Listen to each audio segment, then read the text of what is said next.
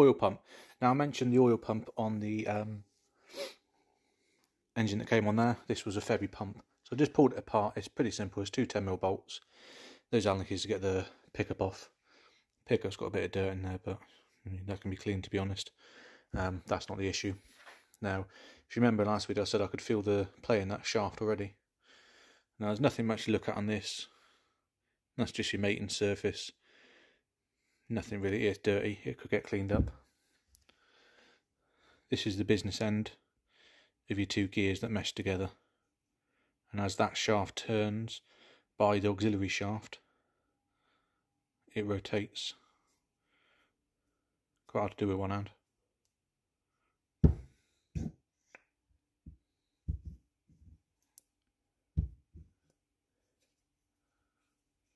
There you go.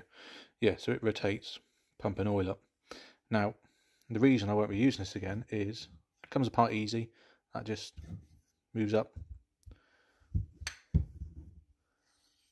And then the other one comes off there. Now, that gear was on here.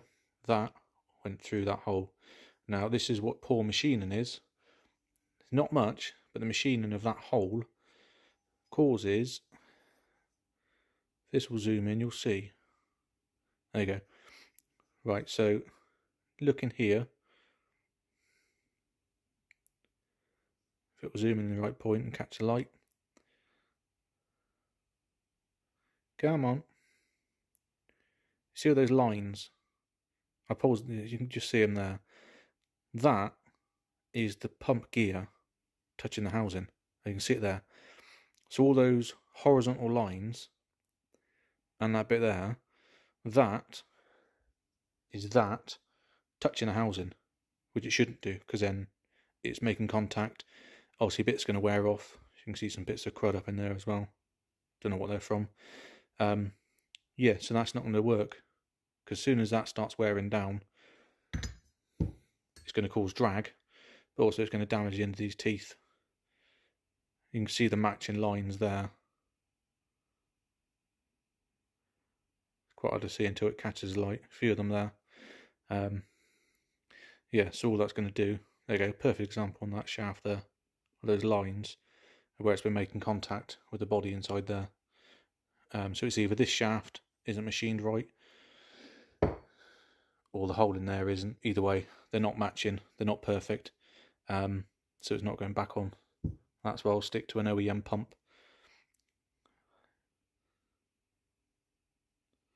There you go. That's why I don't like aftermarket pumps. They'll do the job, but doing the job doesn't mean it's the right part. Sometimes OEM is the best. Hasn't really been catching too much on that one. Mainly because it's a bit on the back here. Mainly because there's no leverage on that on that um, lug. There's leverage on that because it sits out the pump yay far. So you've got all that leverage. It will move around because it only it goes on the auxiliary shaft in there.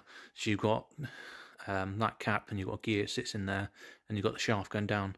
So you've got a lot of movement that that can move because that's not really aligned in there. It's just sat on there um, and meshed with the auxiliary shaft. So all that sort of movement in there will cause that to jiggle around exaggerated, it will do that inside the pump, which as you can see from the scoring lines in there. So back to some comparisons. We know this is our Febi pump off, um, what engine was it off? The 1803. Now, as you can see, this is an original VW pump off another KR block I've got. Now, as you can see, this has done some miles. I don't know how of miles, but you can see from the amount of oil staining on the aluminium, it's done a lot more work than that has. So all we're going to do, we've taken it apart, pretty simple. There's no really wear marks on there. Um, look pretty ample. You're not going to really have too much contact on here because you're now going to have a film of oil as its bearing surface. So that I'm not too worried about. There's a bit of a weight difference as well. Probably a couple of grams in it. We don't worry about the strainer.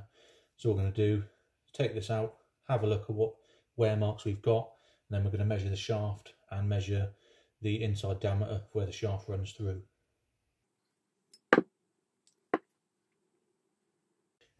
Now we can see there are tiny scrape marks in there, but it's also super shiny clean. And the main problem we had, whether you'll be able to see so this was making contact up here. See that darker grey patch?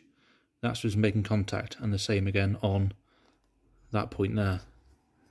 Now if you look at this one,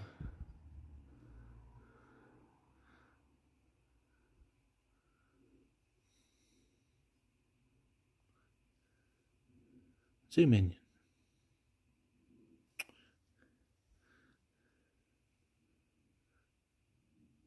And if we look at this one, there is nothing there, it's all shine, which is good. Then there's nothing that side. There are minor marks around there, but nothing's actually making contact. So all we can do is measure the inside of that and the outside of the shaft.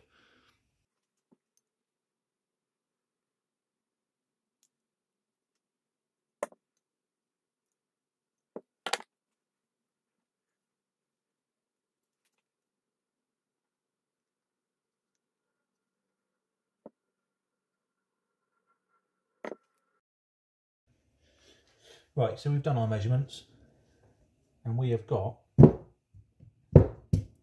now I've measured them not pump to pump, as in the shaft size to the shaft size. So there's a clear, these are a clearance fits, there should be a set gap between it, so once there's oil in there, that's your seal and that's what um, allows its bearing surface. So we've measured them between. Now what we've got on this pump we've got a shaft diameter of 13.95 millimeters. And we've got an inside diameter of 14.07 millimeters. So we've got a difference of 0.11 millimeters which isn't a lot but versus the OEM pump which we've got a shaft diameter of 3.99 millimeters. And we've got an inside diameter of this body a 14.03, which is a difference of 0.4 millimeters. So that's the machine tolerance you've got. Now, 0.4, I'm not going to try and measure, but 0.4 millimeters between that and the shaft, that's perfectly adequate to me, considering when it gets warm, it's oil in it, the heat's going to expand the metal and it's going to seal itself and do its job, and it's not going to expand to a point that's going to um, lock up and cause wear, etc. What we're interested in is the excess play in these two. Now I've set this to 0.11 mil. Now you can't really see much through it. Don't know if you'll catch any light through it. Probably not, it looks like it's closed. Ordered bit of A4 paper. So we can see, not a massive amount, but that's the sort of size you're looking at see through it? No. So here we go. So that's our difference in the pumps. So that is why this gear is coming into contact with these two outer edges on the pump point. You can also feel it and hear it. So when I've got that sat in there, I can also lift it up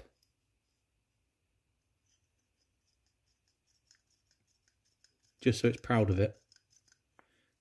I'll put it close and see if you can hear it on the video. Nice and quiet.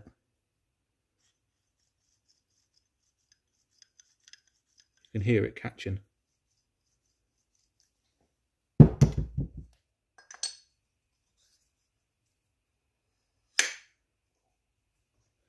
This is the original pump. Can't hear anything. Nothing. So there we go. That just shows the difference of a pump that's remanufactured and an original pump. Go. Bit of interesting information for you. The difference between the original pumps and your remanufactured pumps. So my advice, keep your original pump. If you take it to a garage and they say it's your oil pump failed, chances are they're lying. Um, get someone of those VWs. That's not going to fail if it fails, it's going to lock up and damage. But to wear out to the point, it's not pumping oil to the right pressure. Very very slim.